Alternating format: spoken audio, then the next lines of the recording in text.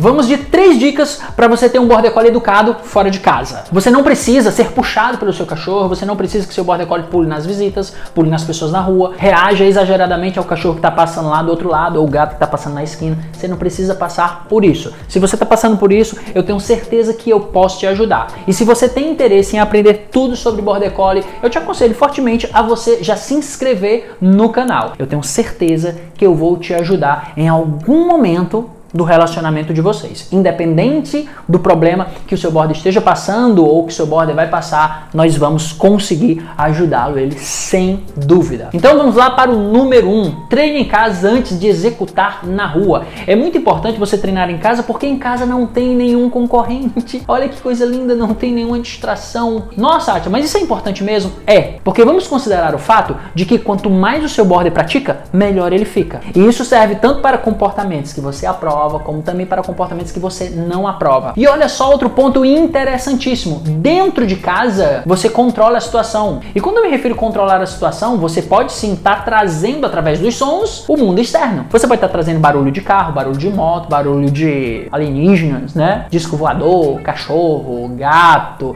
Nossa, enfim, você pode estar tá trazendo vários barulhos para dentro do seu treino, dentro de casa. Porque as pessoas chegam para mim e dizem: "Ai, Atilo, nossa, meu cachorro até que faz alguma coisinha dentro de casa, mas quando chega na rua, cara, que ele escuta um carro, uma moto, uma criança, ou, ou barulho de skate, ou bola quicando, nossa, não rola, ele não obedece. Então o que é que você precisa fazer nessa circunstância? Você precisa desensibilizar, apresentar por partes. Então a melhor forma de você apresentar por partes é você ter o controle da situação. E eu tenho certeza que dentro da sua casa, você que manda, ou então a sua patroa. Brincadeiras à parte, o que eu trago para vocês aqui tem comprovação científica, então eu quero que você considere isso e você aplique e me fala depois quais foram os resultados. Então assim, inicia dentro de casa, traz o mundo externo através dos sons. Sempre é bom lembrar para você não dar mancada. Seu treino tem que ser de caráter positivo, marcante, prazeroso. Caso contrário, o seu board vai olhar para você e vai começar aquela coisa chata, que sempre você briga comigo para eu sentar, você sempre briga comigo para eu ficar nesse negócio aqui, para eu deitar. Hum, curto isso não, ó. Então, foge dessa armadilha. Agora nós vamos para o segundo ponto: petisqueira, petisco e brinquedo não se vai para uma guerra sem estar preparado. Você há de concordar comigo que é muito difícil você concorrer com um lugar onde tem vários estímulos. Quando você vai para a rua, você vai para um ambiente minado, onde tem estímulos que você não controla, carro, moto, bicicleta, skate, menino, criança, menino voando, menino gritando, menino se aproximando e o cachorro exibindo calma e signos, menino, pelo amor de Deus, sai daqui de perto. Aí eu te pergunto, o que você tem para ajudar o seu cachorro a entregar para você comportamentos que você aprova, comportamentos que faz bem para ele? O que você tem ao favor do seu border para ajudar ele em uma, digamos, situação de insegurança, de medo, entende? O que, você tem? Então, estar preparado é muito importante. Você já sai com aquela mentalidade em formato de treino. Tá aqui a petisqueira, tá aqui os petiscos que ele mais gosta. Vamos! Vamos lá, e tá aqui o brinquedo que ele adora. Então nunca, a partir de hoje, depois desse vídeo, não encare o seu passeio como um passeio. Encare o seu passeio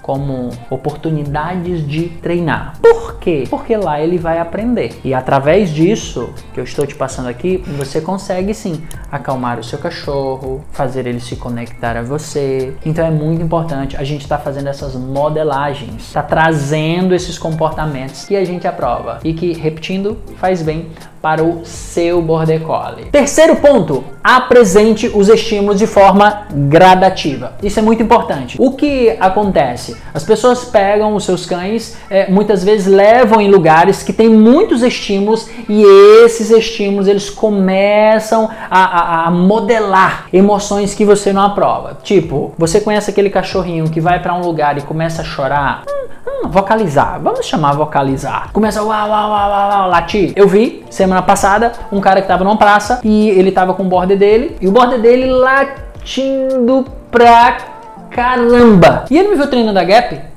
Aí ele se aproximou de mim e disse: Cara, me diz uma coisa, quando é que isso aqui vai passar, hein? Eu disse: Esse comportamento nunca vai passar se você continuar fazendo as mesmas coisas. Ele, mas como assim as mesmas coisas? Você não percebeu, mas o seu border, ele não está preparado do ponto de vista emocional para estar tá tão próximo assim desses estímulos. Então é muito importante você ir apresentando de forma gradativa. Mas, cara, como que eu vou apresentar de forma gradativa se todos os cachorros estão ali, eu não conheço é, os cachorros, eu tenho que aproveitar a oportunidade?